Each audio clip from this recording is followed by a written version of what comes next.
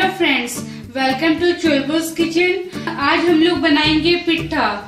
आपने चावल के आटा का पिट्ठा तो बहुत सुना होगा, पर आज मैं गेहूँ के आटा का पिट्ठा बनाने जा रही हूँ, जो बहुत सिंपल है और उतना ही टेस्टी लगता है।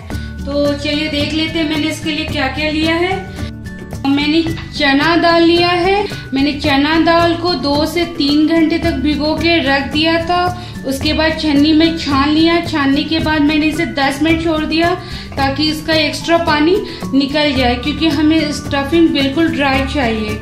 और दो कप दाल के हिसाब से मैंने तीन कप आटा लिया है, क्योंकि हमें डो इसका थोड़ा मोटा चाहिए, क्योंकि हम लोग इसे पानी में बॉईल करने वाले हैं।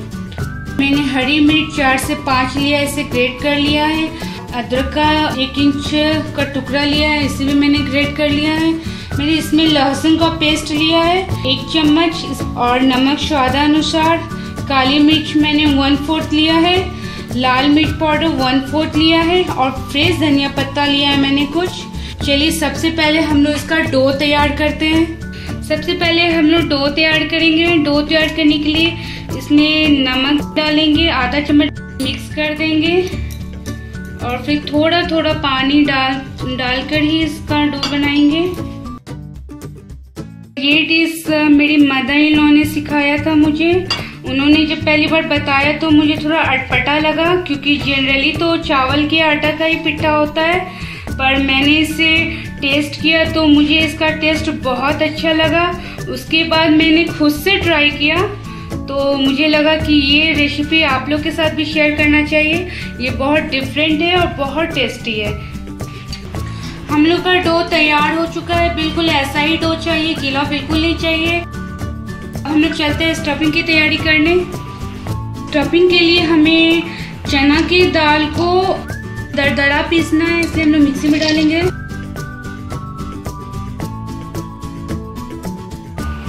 हमें इसे दरदरा पीसना है, इसका पेस्ट बिल्कुल नहीं बनाना है और इसमें पानी बिल्कुल नहीं डालना है। तो चलिए इसको दरदरा पीस लेते हैं।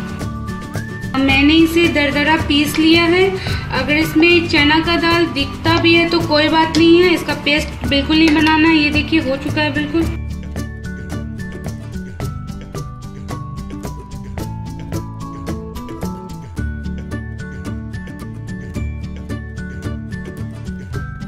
मैंने चना की दाल को दरदरा पीस लिया, मैं इसमें बाकी का सब डाल दूँगी।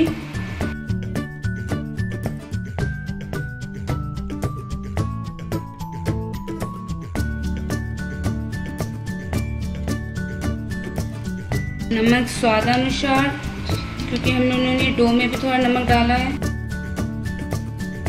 इसे मिक्स कर देंगे।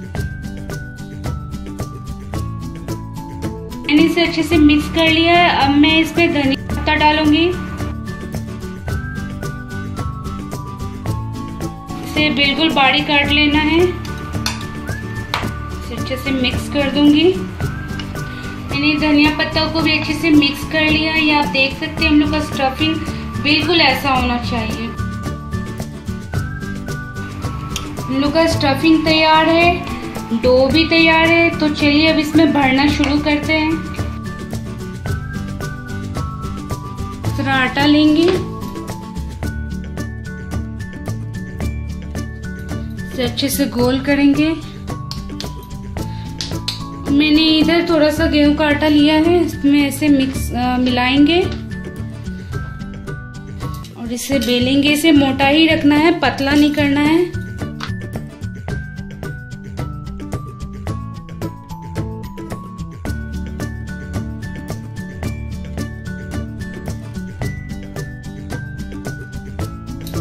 बिल्कुल इतना ही चाहिए, आप देख सकते हैं। ज़्यादा मोटा भी नहीं रखना है और ज़्यादा पतला भी नहीं रखना, बिल्कुल ऐसा ही चाहिए।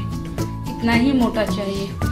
अब मैं, मुझे गोल चाहिए, इसलिए मैं इस कटोरी की हेल्प से, इसे कट करूँगी, इसे दबा दूँगी।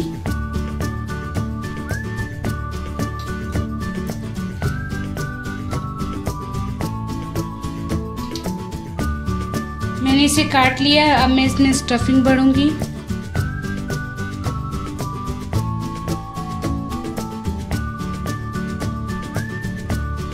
इसे हाथ से ऐसे इसे दबा देंगे शेप में लाएँगे। इसे अच्छे से दबाते हुए चारों तरफ़ से इसे सील कर देंगे।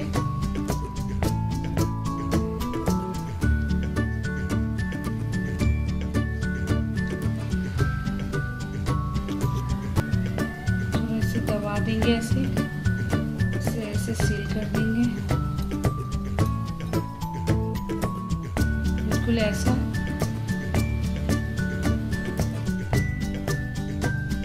मैंने पानी चढ़ा दिया है अब मैं बस बॉयल आने का वेट कर रही हूँ। जैसे बॉयल आएगा मैं एक एक करके पिट्ठा को डाल दूँगी। पानी बिल्कुल बॉयल होना चाहिए ठंडा बिल्कुल नहीं होना चाहिए। आ, पानी में बॉयल आ चुका है अब मैं पिट्ठा को एक एक करके डालूँगी इसमें।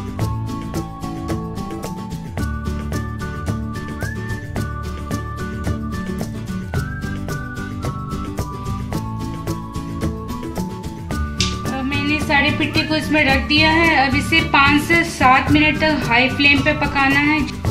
और इसमें बॉयल आ चुका है। बॉयल आने के बाद ये ऊपर उठ के चलाया है पर हमें इसे पकाना है, इसलिए हम लकड़ी का ऐसा कुछ लेना पड़ेगा। स्टील का यूज़ नहीं कीजिएगा। ये तो क्या होगा कि ये फट जाएगा। और इस हल्के हाथों से इसे पलट के, पलट देना है ताकि ये दोनों साइड से पक जाए। क्योंकि आप देख रहे हैं, ये ऊपर चलाया है। करके पलटेंगे इसे। दोनों साइड से पकाना है। फ्लेम को हाई रखना है। ये आप देख सकते हैं कि ये मैंने इसे सील कर दिया था अच्छे से। ये फटा नहीं है। अगर आप इसे अच्छे से सील नहीं करेंगे तो ये पानी में जाने के बाद ये फट जाता है और पानी इसमें अंदर चला जाता है। ये मैंने इसे 10 मिनट पकाया है। अब ये हो चुका है ऑफ़ करेंगे। मैं इसे एक एक करके निकाल दूँगी। इस टाइप के छन्नी में निकालूँगी ताकि इसका एक्स्ट्रा पानी नीचे चला जाए। अभी देख सकते हैं, एक भी नहीं इसका मुँह खुला है। मैंने इसे अच्छे से सील किया था। इसे निकाल लिया है। अब मैं इसे नॉर्मल पानी से थोड़ा वॉश कर दूँगी ताकि इसका कुकिंग बंद हो जाए। और धीरे धीरे गिराना है, नहीं तो ये फट जाएगा। बस। अब हम इसे ठंडा होने के लिए छोड़ देंगे। हम लोग का पिट्ठा तैयार हो चुका है। मैंने इसे एक घंटे के लिए छोड़ दिया था। ये पूरी तरह ठंडा हो चुका है। अब आप इसे सॉस या हरी चटनी के साथ सर्व करके खा सकते हैं। ये बहुत टेस्टी लगता है। आप इसे ज़रूर ट्राई कीजिए। अगर आप इसे अभी नहीं खाना चाहते हैं तो आप इसे दो से तीन दिन तक फ्रिज में रख सकते हैं। ये बिल्कुल ख़राब नहीं होता टेस्ट में कोई चेंज नहीं आता है। और उसके बाद दो से तीन दिन बाद जब आप निकालेंगे तो उसे कैसे खाना है, मैं वो भी बताऊँगी। दो से तीन दिन बाद खाने के लिए हमें क्या करना होगा? पहले, सबसे पहले हमें इसे पीस कट करना होगा। ऐसे, ज़्यादा मोटा नहीं। और मैंने इधर तेल ऑलरेडी पहले से चढ़ाया हुआ है, ये हल्का सा गर्म हो चुका है। अब हम लोग इसे सेलो फ्राई करेंगे। हम लोग फ्लेम को मीडियम ही रखेंगे और तब तक पकाएँगे। जब तक ये लाइट ब्राउन ना हो जाए दोनों तरफ़ से पलट पलट के पकाएँगे।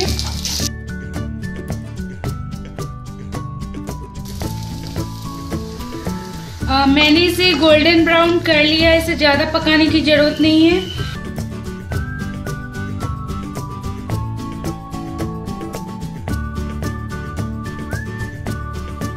अब हम लोग इसे सर्व करेंगे। आप इसे हरी चटनी टमाटर सॉस के साथ खा सकते हैं। मैंने इसे सर्व कर लिया है। अब ये खाने के लिए बिल्कुल तैयार है। अगर आपको मेरी रेसिपी पसंद आई हो तो मेरे वीडियो को लाइक कीजिए। और मेरे चैनल को भी सब्सक्राइब कीजिए।